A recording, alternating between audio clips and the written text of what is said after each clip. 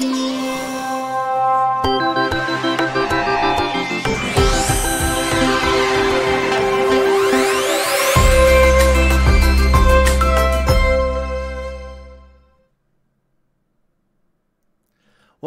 everyone. Hi, hi, hi. Hello, hello, hello. Uh, nice to see you here in the chat. We've got lots of friends. Laura's here, Wade's here, Umacorn, uh, Richard. Nice to see you all and welcome back. My name is Andrew Hochradel, and I will be taking you on the journey over the next two days. Oh, we're almost done uh, of our daily creative challenges here for Adobe Illustrator. We are covering Illustrator basics. If you are just joining us, we've been doing this for about two weeks now. We just have a couple days left, and yes, Beetlejuice Beetlejuice, Beetlejuice, Beetlejuice. Here I am. Congratulations. Uh, all right, so let's go ahead and jump in and talk about how you can get involved. The first way is to go right here at behance.net slash challenge slash illustrator. Um, our friend Wade will drop that link in there.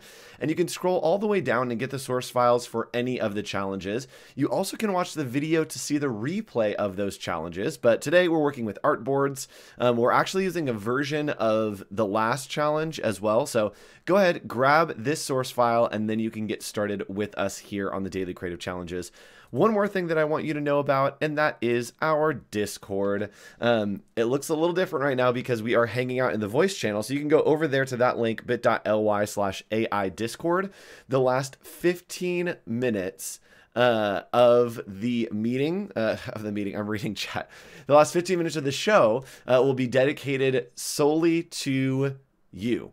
Uh, it will be all you. Any questions that you have, anything that you want to know, go ahead and hop into our Discord. You can go over here to Hangout and Feedback. And when you sign up for Discord, it will put you here. You scroll all the way to the bottom and you will go to Hangout and Feedback, or you can type in the stage chat. Uh, you also can post your challenges up in the challenge tab, which is where a lot of people have been posting their challenges. So go over to Discord right now, hang out in our voice channel, and I will bring you on the last 10 minutes of the show. All right, let's get started. Today's challenge is challenge number eight. We are going to be talking about artboards. So here's our challenge for today. Let's zoom in and see what we have. Learn how to navigate, create, and edit artboards in Adobe Illustrator. Then use these new skills to create design options for a holiday greeting card. Uh, we love options. A lot of times clients will ask for multiple versions of things, um, and we want to make sure that they are happy. We want, we want to cater to our audience. So the first thing that I'm going to do is I'm just going to grab this type, um, and it is arranged wrong. So we're going to go to Arrange and Send to Back, and there we go. Uh, we're just going to group this together, right clicking and hit group. And we're designing pretty quickly today because we want to talk about artboards as soon as possible. Um, I'm also going to grab the scale tool over here and just scale this up. And for now, let's just work with some type. Let's use the alignment tools right there to align that there. And that looks pretty good to me. Let's go ahead and do a couple of these at the top and the bottom just because we're having fun. So you can make your card look however you want. Uh, but what we're going to do today is we are going to make multiple versions of this on multiple artboards. Now, what is an artboard? Great question. An artboard is the area that we are working that when we export will show. So think of this as windows. Uh, if we have a bunch of different shapes that are happening, if we have all these red things, right? You can see this gray line, that is the artboard. So if I click on this, it is going to turn black, and that means that it is now the active artboard. So you can see right there, it is black, but if I click on another one, it goes gray, and then here it goes black. So that's what you need to know is the black outline of an artboard is the one that is active that you are working on. And the reason that you need to know what you're working on is if I select this shape and then I want to align it to this artboard and I start using my alignment tools, it's aligning to the active artboard. So we want to make sure that the artboard is active that we want down here, and then we can align to that artboard. All right, so let's go ahead and make a couple copies of this. And uh, what we want to know about artboards is that we can make as many as we want uh, within the document, and artboards are also able to be resized and changed as we need. So I'm going to make a copy of this text. So right here, let's see, let's lock that background. Right here, we have all of our happy holidays. And let's do this. We want this happy holidays on all of our artboards so that we can present multiple options. What you can do is you are going to hit Control X which is uh, copy, or sorry, which is cut, or you can go to edit and you can go to cut. Then from there, instead of just pasting, we are going to get go to edit and paste on all artboards. The hotkey for that is Alt Shift Control V. Everything you possibly could do. Uh, and we are going to paste on all artboards. And watch what happens. Because we have designated artboards, it's pasted that same art in the same position on every single artboard. And now it's very easy for us to come in here and kind of play around with what we want uh, for our type. We can change colors like we've learned in some past lessons uh, and really adapt this to the way that we want it to look. Maybe we want one that is all one color. We can select all of these and just use the eyedropper tool to make it nice and bright. We do want that top to be a nice blue. Sure. Uh, so you can play around and do whatever you want with these artboards. And now we have four different options. Now, let's say that we didn't want to present the artboards like this what we can do is we can actually reorder these artboards very, very easily. We're going to go over here to the artboards tool. Now, if you don't see that, again, you can go to window and uh, turn on artboards right here and it's, oh, it's right above me. I love when things are right above me so I can point. So you can see here, we have named our artboards. It's super important to name your artboards so you know what is going where. Um, very important.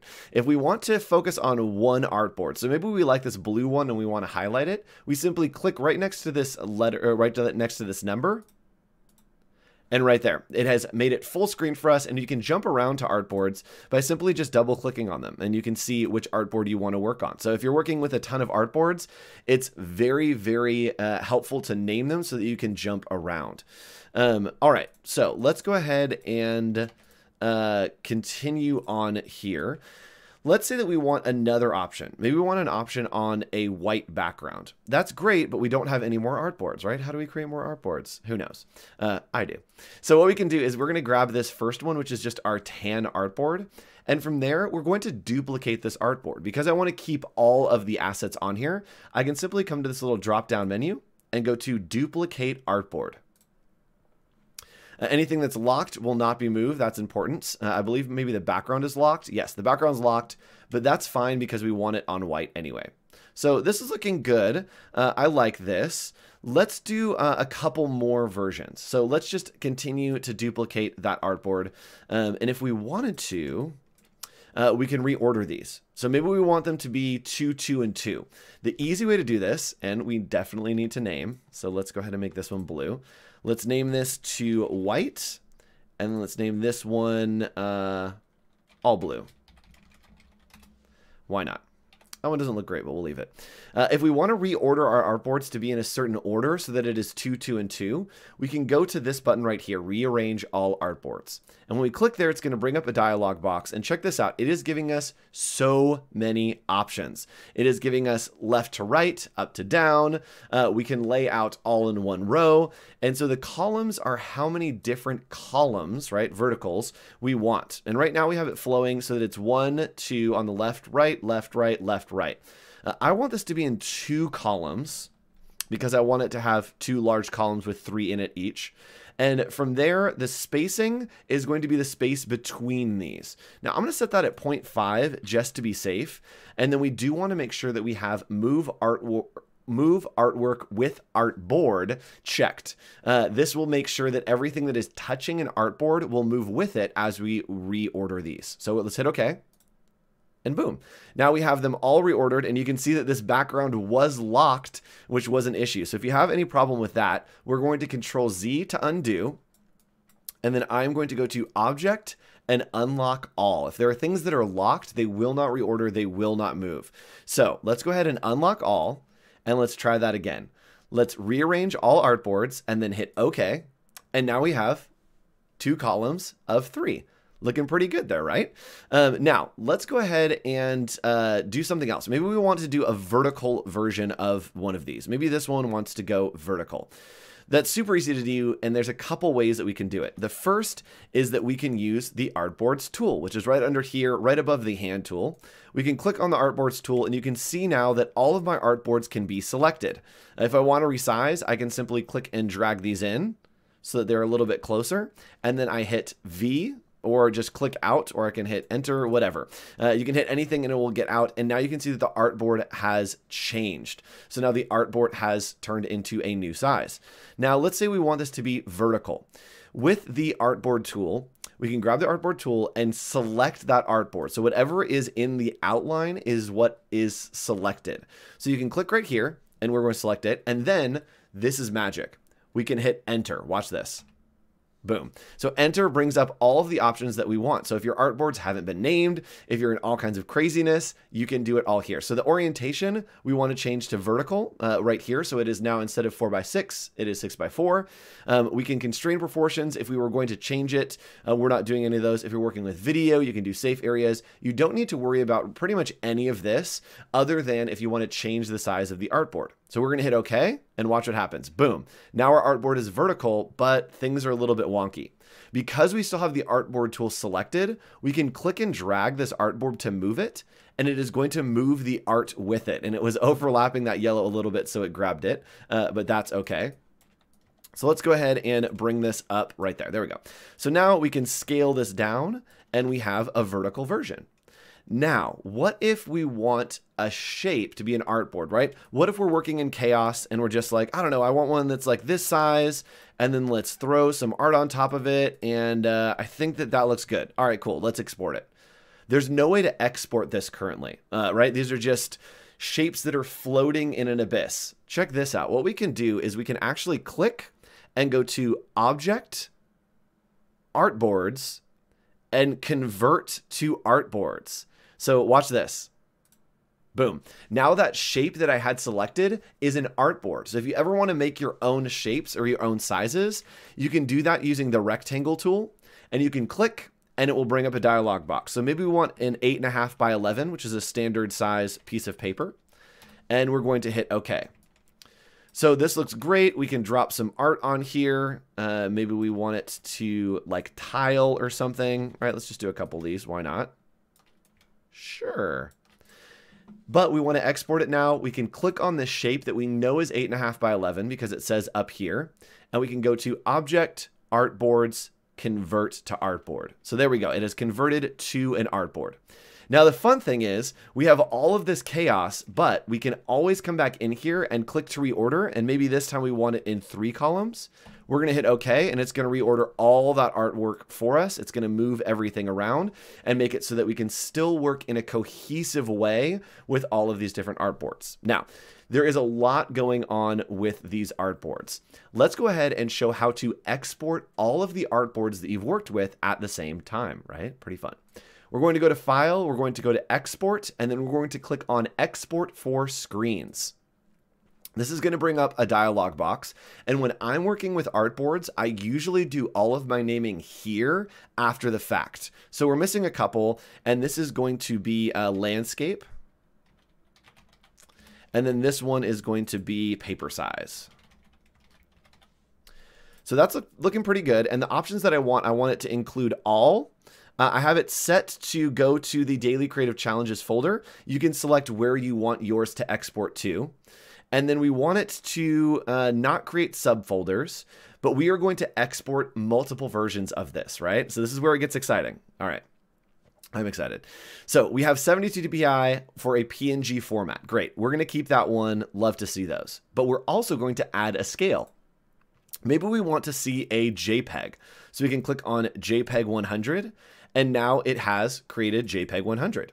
The suffix uh, you can put in here and you can put any kind of name that you want on there. And you also can designate the scale. So maybe the JPEGs are going to be for print. So we want those to be at 300 DPI. And that's the standard for print is 300.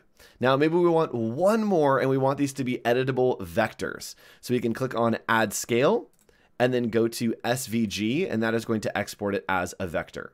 So we can add a prefix in here if we want. Um, and I think that maybe we will. Uh, uh, it's going to export as challenge artboard. So with the names, what it's going to do is it's going to export these names because it is exporting each of the artboards and keeping that name. So I'm going to hit export artboards. Magic. There's magic happening. There is magic to do just for you. All right, so it has exported, and check this out. Uh, I'm going to bring over my window right here so that we can see it. Uh, let's change over the view so we can see these large icons. And you can see, my goodness, it has exported a JPEG, a PNG, and an SVG of each of our different artboards. Check it out. The names are already there. I just exported a ton of different files without having to really do much, right? So as long as you name your artboards and keep them in check, you can go over to File, Export, and Export for Screens. You can fix up the names of your artboards, and when you export, everything will be named, everything will be sized in whatever you designate it to be right over here in this panel. Uh, so that's all we have about artboards let's go ahead and uh, take some questions and see what you want to know about today's lesson.